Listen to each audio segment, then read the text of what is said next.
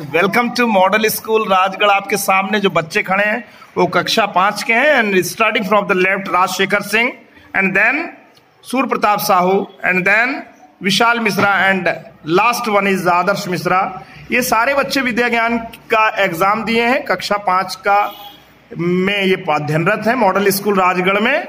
और ये सारे बच्चे शिवनादेर फाउंडेशन द्वारा आयोजित विद्या ज्ञान की परीक्षा में ये लोग प्रतिभाग किए केपी हिंदू इंटर कॉलेज जो कि शहर का नामी विद्यालय है।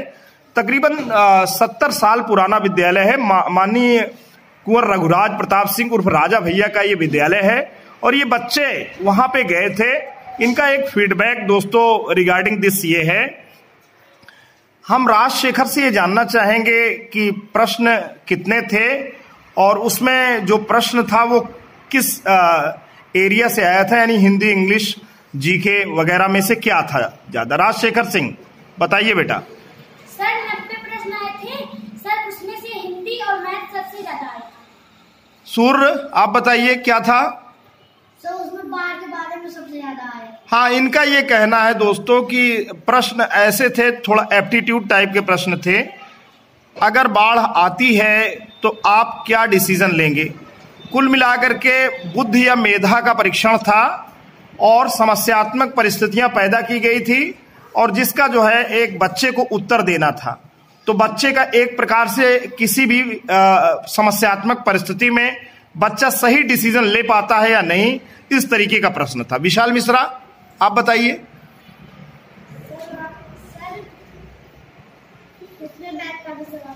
किसका सवाल था? किस चीज़ का? हाँ मैथमेटिक्स के सवाल थे। इनका कहना है कि सर मैथ का सवाल था। तो कुल मिलाकर के आपका अनुमान इस ओर केंद्रित होता है कि मैथ और हिंदी के प्रश्न ज़्यादा आए थे। आदर्श मिश्रा आप बताइए। पहले आदमी के पूछ रहती थी अब क्यों नहीं है? तो भाई आदमी के पहले पूछ रहती थी अब क्यों नहीं है? उससे संबंधित कारण दिए गए होंगे। उनमें कारणों में से एक सही कारण का चयन करना होगा और काले बिंदु को जो है काले सर्कल को डार्कन करना होगा। तो दोस्तों, ये मॉडल स्कूल राजगढ़ के बच्चे हैं जो कि विद्या ज्ञान की प्रतियोगी परीक्षा में प्रतिभाग किए हैं। इनकी जुबानी से आप जिनने जाना कि विद्या ज्ञान में कैसे प्रश्न आए थे वर्ष 2019 में।